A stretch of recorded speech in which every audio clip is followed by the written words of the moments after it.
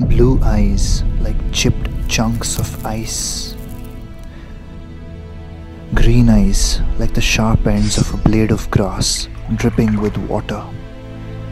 Brown eyes like pieces of dust swaying in the wind. Grey eyes like the blunt edges of a tombstone, always penetrating. Your eyes cannot be polished without experience. The old have polished eyes.